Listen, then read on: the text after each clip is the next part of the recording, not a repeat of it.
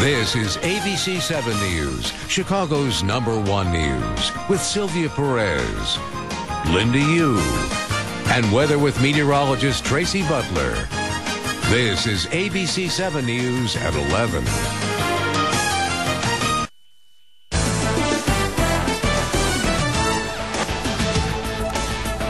Barack Obama, Bill Clinton, Hillary Clinton, what do they all have in common? And what do they have in common, you ask, with Martha Stewart and Jennifer Love Hewitt? Hmm, now, we're not talking about politics here. We're actually talking makeup. Mickey Williams lists them, all of them, and more as clients. And she joins us now with some suggestions on ways that we can look better and younger.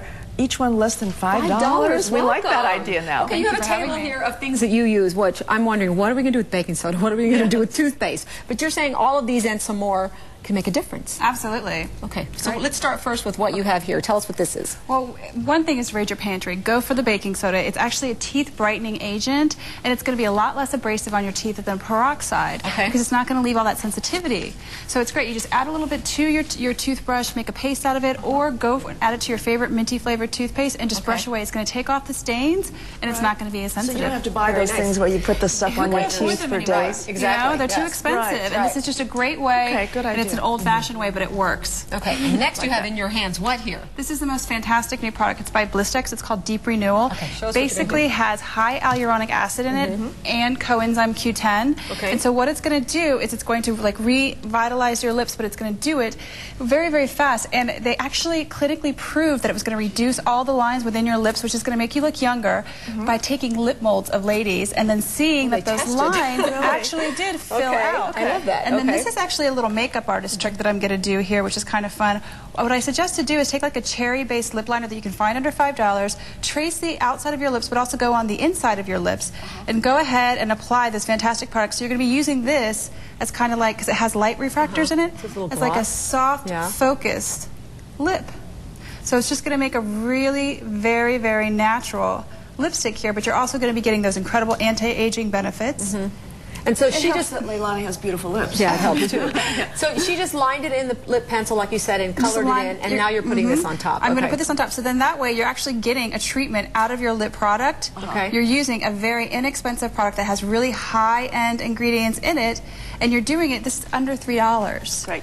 So Very how fantastic is that? And you Yeah. get that kind of soft, focused mouth instead of that hard, Yes. kind It of looks rigid pretty. look. It looks very pretty. That Okay. is Absolutely. ultimately more useful. Okay. All right. What else? Next, it's really kind of fun. One, one little trick, we're going to do a little demo with this too, is that if you can just go into the inside room of your, your eyes where you get that red darkness and Mm-hmm. kind of like it just gets darker as you get older, and also when you haven't slept, it gets very, very red. Mm-hmm. A really great trick that we're going to also show on Leilani because she's such a great sport. She's an 18 month old at home, so she can really use this. She's going to. Sure. look up, Okay. and we're going to line that inner area of her eye And with what is this white. White? What it does is it takes out that, it increases the size of the whites of your eyes, if you can Uh-huh. see, and it just kind of brightens up the overall appearance. Yes. Let me have you turn just a little bit and look at There, the camera, right just so we can compare.